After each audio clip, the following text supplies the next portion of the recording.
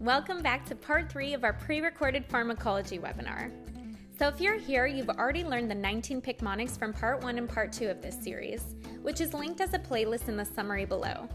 Go learn those topics now with your Picmonic Premium membership. And now, let's go on to the final part of this pharmacology webinar. I'm Kendall Wyatt, the content director of Picmonic, and we're just going to jump right in because I don't like to say all that stuff at the beginning anyway. Nobody likes it. So let's jump into psych and some other just hodgepodge of medications for knowing your endings and all those key important points of things you need to know. Let's get started. Oh, look at this cute little pill character here with a little pain bolt. Everything you see inside what we're talking about today are going to be images from our Picmonic learning system. Yeah, I know it said it in part one. I said it in part three, but there's some weirdos that start on part three or part two, whatever. We're on part three. Let's get started. So the first one, um, really, as far as a class of medications, are antifungals. Um, antifungals, we were just talking about antibiotics, so we're going to talk about antifungals, kind of along with it. Um, but antifungals end in azole, almost all of them. Now, what I want you to remember, antifungals are weird. Just because you see an azole, A-Z-O-L-E, that doesn't mean instantly it's an antifungal, because there's some weird ones out there that are not antifungals. Um, but mostly all AZOLEs are antifungals. And we are going to see a couple other good examples as we're going to talk about here in a second. AZOLE.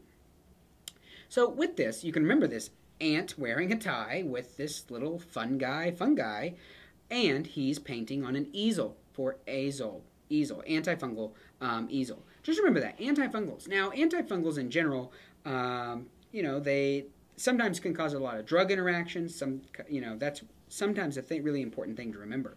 But most of the time, um, antifungals are just in an AZOLE. Excuse me. Now the next one are antivirals. Antivirals are, we got an anti character with our little virus characters. Aren't they cute little virus characters, little cute little legs? Yeah, we know. Antivirals um, pretty much always end in vir. V-I-R, V-I-R, V-I-R, there we go. Vir. They end in vir, vir, V-I-R, virus, V-I-R. I think you're following along here. If it ends in vir, it's in some type of antiviral. There are lots of them out there. Now, there are antivirals that don't end in vir. Yes, I know. Thank you. You've got a good example, and you're yelling at me at the screen. That's fine. I don't mind.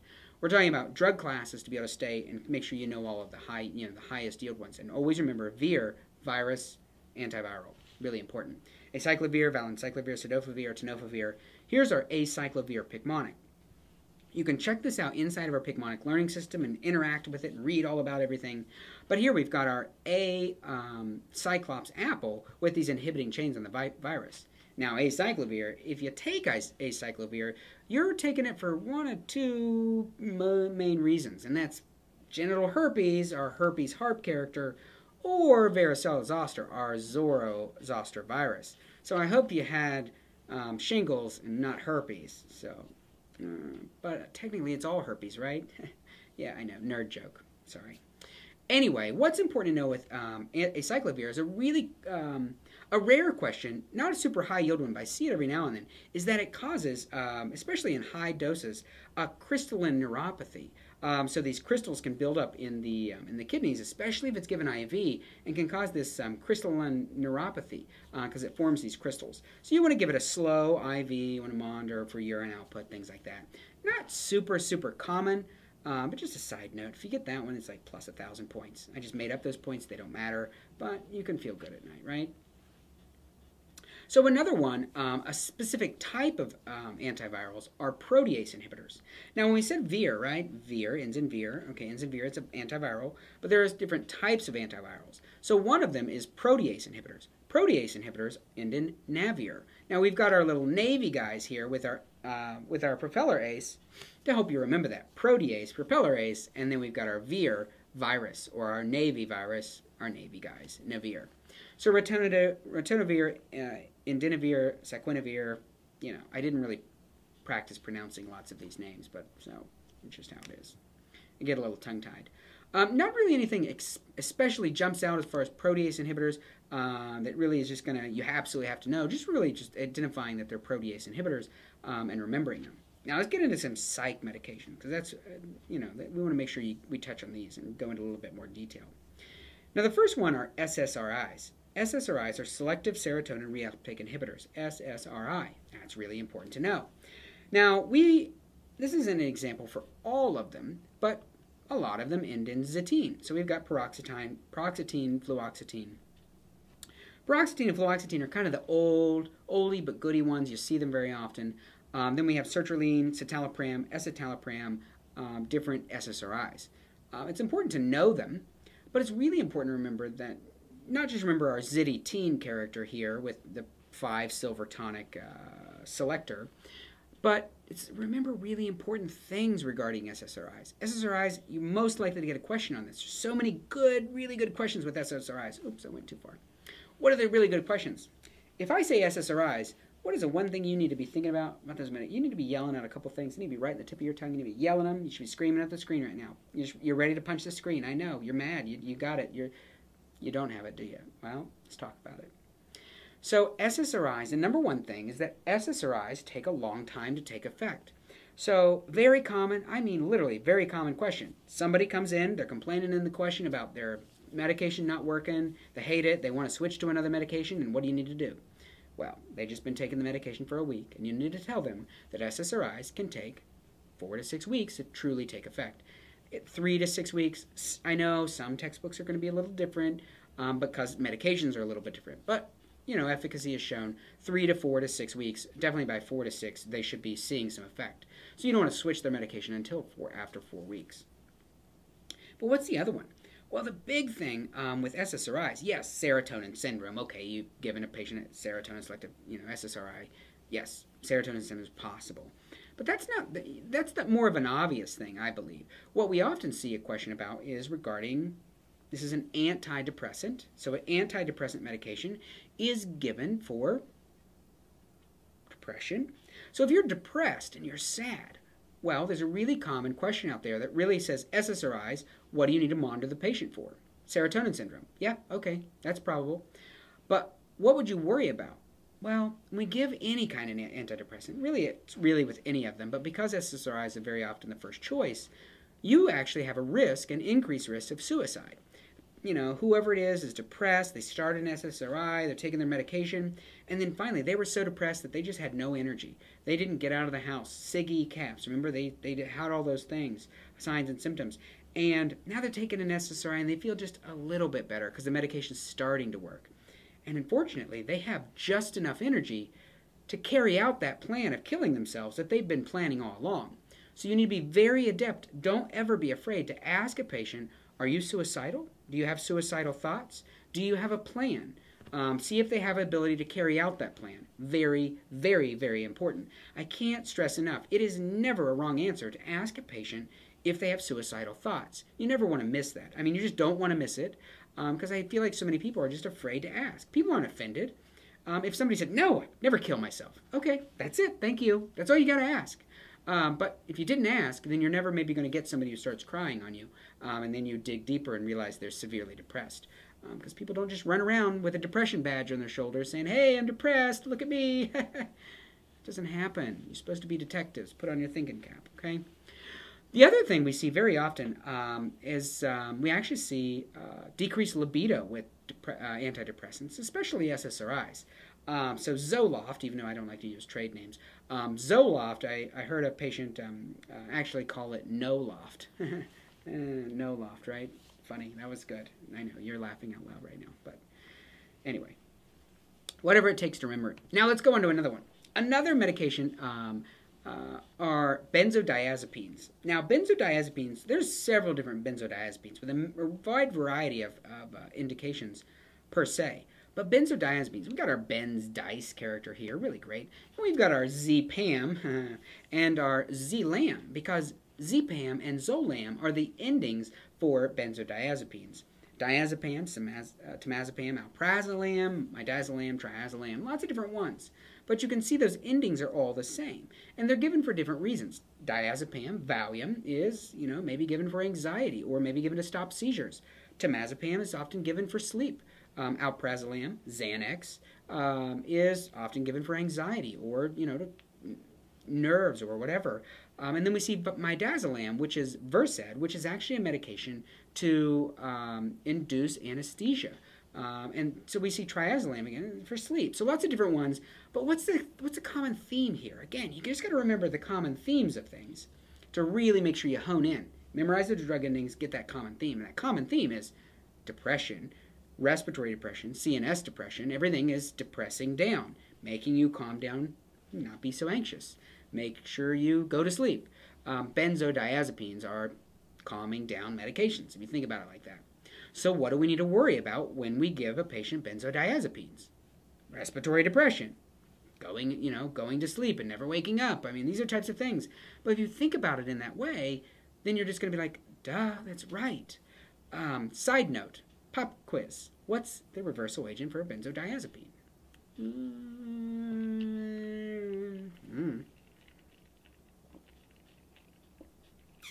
So what's that antidote? Well, it's flumazenil. And we have a flute mace with nails in it to help you remember that inside of Picmonic. Or Romazicon is the trade name again. Not so much on the trade names, don't remember that. Flumazenil. Now, really important to remember, you have an antidote because of this respiratory depression, CNS depression. And because some people just love that CNS depression, then you often have a risk of addiction. Um, same with sleep medications. You see them um, being uh, addictive, you know. It's very types of medications you get hooked on and then abuse them. Now, if I just showed you this image, show you the, the magic of Picmonic, what would you say that this particular benzodiazepine is? I've got this triangle lamb.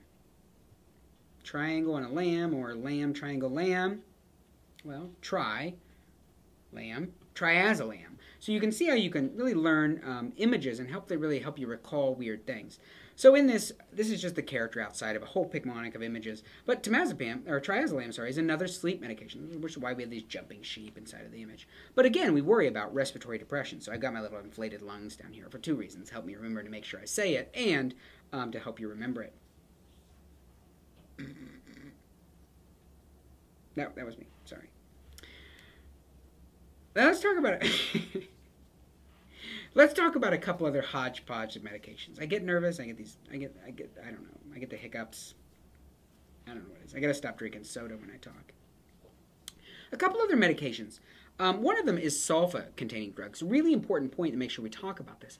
Sulfa-containing drugs. Now we said loop diuretics. We said thiazide diuretics in one of the other videos. But you need to remember that, yeah, they may contain the word sulf at the beginning seems like that would make sense. But you see sulf or THIA, you see that very common in sulfa-containing drugs. Um, you see sulf, they start with like sulfamethoxazole or sulfonylureas. Those are sulfur, sulfur medications. You can't um, give those. Now, why is it, why if people are allergic to sulfur, why do they keep making these drugs with this? Well, um, sulfur is actually uh, something you can easily bind medications to as a delivery mechanism. It's also cheap and easy, easier. I mean, I don't know how to actually make a medication and make it bind, but somebody with chemistry degree does. But um, it's it's a very easy compound to make medications with, which is why we see it so common. Now, of course, we have uh, one of our artists, Alana, loves this image. Um, Don't Let Me Sulfur is our sulfur match. So every time you see a sulfur match, um, you're going to remember sulfur for sulfur um, inside of Picmonic. So magnesium sulfate. Um, you see, lots of have sulfate at the end because they're bound um, to sulfa again. So um, another kind, another type of medication is HMG CoA inhibitors. Now, HMG CoA inhibitors, we've got our hummingbird with a little coin A purse, um, and we have him kind of pooping on this statue to help you remember statins. So simvastatin, atorvastatin, pravastatin, rosuvastatin. Sorry, I didn't see the other one on there. Those are statins. Now, what are HMG CoA inhibitors? Well, HMG CoA um, is HMG. Um, it's H, actually HMG CoA reductase inhibitors. Um, so we, it's a, it's an enzyme that works with cholesterol. So if we can stop this, we can inhibit this, we can keep the body from basically synthesizing more cholesterol into a storage form. Really common medication. You're likely to see it. Now, if I give this medication, if I say statins, what's the first thing you're going to say? You're, you're yelling again, right? You're yelling at the screen and you're saying, LFTs, LFTs, LFTs, LFT. I don't hear you. So you're going to need to yell louder. LFTs. So when we give any kind of statin medication, now I really believe that they're going to be getting rid of this recommendation soon because it's just not so common. But you still need to remember, very high yield, um, that we want to monitor LFTs and, and, make sure nobody has any liver problem because of the risk of um, increasing LFTs when you're on a statin medication.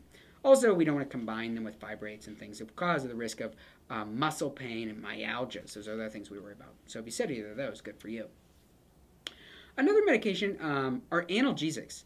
Um, analgesics, we've got our little A, nail, JZ character, but they end in caine. Um, all of them end in caine. Now, if you're going to look at me, you're going to be like, yeah, okay, there are esters and there are amides. Good for you, nerd. Anyway, the point is to remember caine are analgesics or anesthetics. And what they do are numb. And they work on sodium channels. And that's not, again, not so important to get on the details, but they numb things. So if I, whether I'm giving you Novocaine, which is a numbing medication we commonly use for injection in dental dentistry, or lidocaine, which I could inject locally or give topically, or I can give it IV, right? And if I'm giving it IV, or if I'm giving it injected into the skin, or if I'm giving it topically, what does it do? It blocks sodium channels. Yay, we just said that. But it numbs. So we see lidocaine, or our lion cane character here, um, to see it numb things. So we give lidocaine very often, very often um, IV after a cardiac event, and it calms the heart, blocks those sodium channels, calm it down, calm it down, just be calm. Don't go into another arrhythmia. Um, we see that very often. We give lidocaine, we inject it for pain relief as an anesthetic, um, or an, you know analgesic again to reduce uh, reduce the pain. Again, blocking those receptors. Um, just an important side note: um, anytime you increase pH or have an infection in an area, you need to use more lidocaine um, to get a more anesthetic effect because it's not going to last as long. Just a side note: high yield point. Not so much at the nursing level, but definitely PA and PMD level. Another medication um, are PPIs. So PPIs, proton pump inhibitors. Remember we were talking about antifungals and we said azoles for azole. Well, this is an azole, and this is one of the one of the ones you need to make sure you keep difference. So we've got our pretzel, omelet pretzel here for omeprazole, and omeprazole is just another one. And remember, it reduces what? Protons. Proton pump. Protons are acidic. Protons create acid. Proton pumps. They create acid in your stomach. So if we take a PPI, you can remember omeprazole, pantoprazole, or Protonix, um, esomeprazole. We remember those um, to remember that they reduce acid. PPIs work better than what, what medication? H2 receptor blockers. That's right, we've got those here too. Just remember that aripiprazole is not a PPI. Um, and sometimes I really hate when someone says, don't remember this one thing, and then that's all you can remember. But this is a different medication um, that's for um, depression and um, uh, things. H2 receptor blockers, we just said that. PPIs work better than H2 receptor blockers, right? That's correct. So here we've got our H2 receptor blockers. Now, we just have the medications here um, because you usually just see these three, but they're the tedines or the teddies. So we have cimetidine and ranitidine, our little cement teddy character, and our little rat teddy. Isn't he cute? Little nugget right there with his cute little face. Cement teddy and rat teddy. Now, remember these medications are H2 receptor blockers. So they block hydrogen H2 hydrogen receptors, so they keep acid production down. Now, cimetidine has a lot more a lot more side effects than ranitidine because it's a newer generation. But remember that PPIs work better, and most likely they're probably going to be using a PPI anyway. But again, just another medication that you can remember. Tadine, cimetidine, ranitidine um, are acid-reducing drugs. Little teddies, aren't they just cute little nuggets? So with that, that's all we've got. Um, that's our three sections, part one, part two, part three. So if you just saw part three, go back and see the other two, weirdo. You started at the end, you need to go to the beginning. More importantly, what you need to do, stop, hold the phone, you need to click the button wherever Marley puts it. Just click the button to subscribe. Um, definitely click that. You want to subscribe, you want to know what we're saying and giving you next for free, of course. Or you can share a video. Um, you can check out our free study guide, which uh, is involving pharmacology and everything we went over. Um, but most importantly, check out Picmonic. Go to picmonic.com and subscribe. Try it out. But if you have any questions, hit us up at feedback at picmonic.com. So that completes our pre recorded pharmacology webinar. In this last part, we learned about the nine Picmonics that cover azoles, acyclovir, SSRIs, SIGI caps, benzodiazepine intoxication assessment, triazolam, statins, lidocaine, and H2 receptor blockers. Go learn these topics now at picmonic.com or on the iOS or Android apps. Just click the playlist link below this video that covers all of the Picmonics that were covered in this three part series and go ace that next exam. Until next time, this is Nurse Marley wishing you happy studying.